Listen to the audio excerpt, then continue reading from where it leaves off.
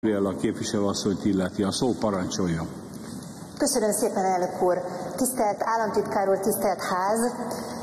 A napokban kapják meg nyugdíjas honfitársaink, a szépkorú honfitársaink visszamenőlegesen a nyugdíj emelést. Ez ugye 3,9 százalék, és ezt a 3,9 százalékot ezt 8 hónapra fogjuk kiszámolni hiszen januártól júniusig hat hónapra megkapják az emelést, a július havi nyugdíjukat is ezzel a 3,9%-kal megemelve kapják, és a már megkapott 13. havi nyugdíjra is kiszámoljuk a 3,9%-ot akiknek a postás viszi a nyugdíjat, ott ugye csak egyszer csönget a postás, egy összegben fogják megkapni ezt az összeget, akinek pedig bankszámlája van, az július 12-én fogja megkapni ezt az utalást.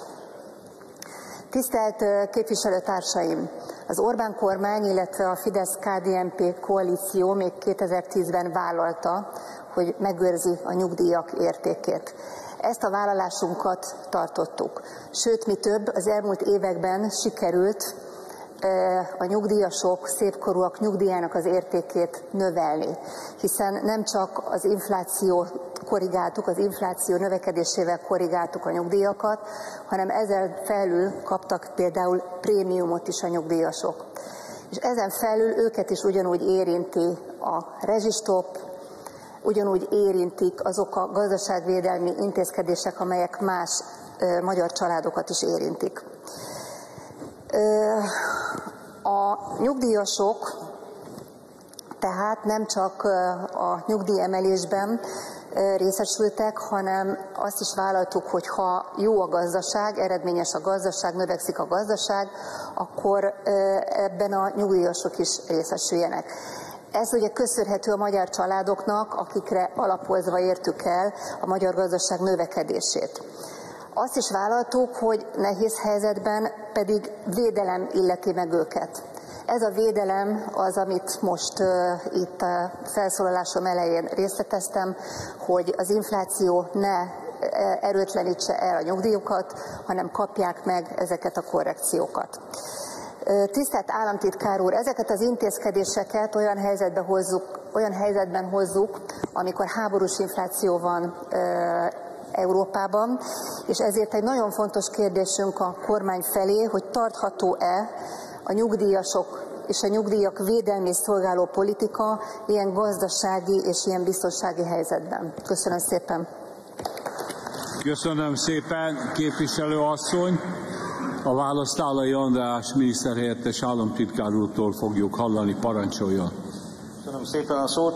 Elnök úr, tisztelt országgyűlés, tisztelt képviselő asszony. Valóban úgy van, ahogy interpellációjában elmondta, ez egy folyamat.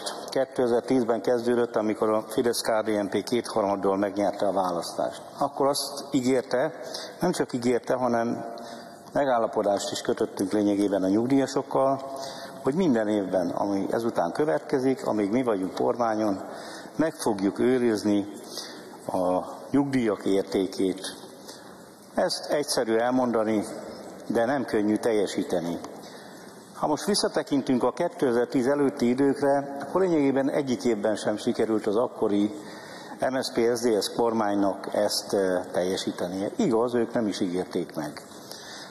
A Fidesz kormány viszont eh, a nehéz időkben is, mert hát valljuk be, hogy 2010 után, amikor még a gazdaság nem állt növekedés, növekedő pályára, akkor nem volt könnyű előteremteni annak a forrását, hogy a nyugdíjas, nyugdíjak vásárló értékét megőrizzük.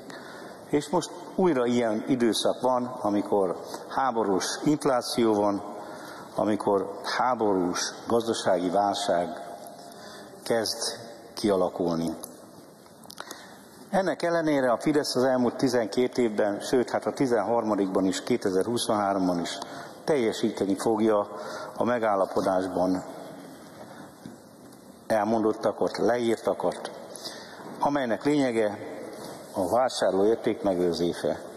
2010 óta 10%-kal növekedett a nyugdíjasok nyugdíjak vásárlóértéke, és hogyha a 13. havi nyugdíjat is figyelembe vesszük, ez 20% ez a szám, nominálisan pedig 59,3%-kal növekedett.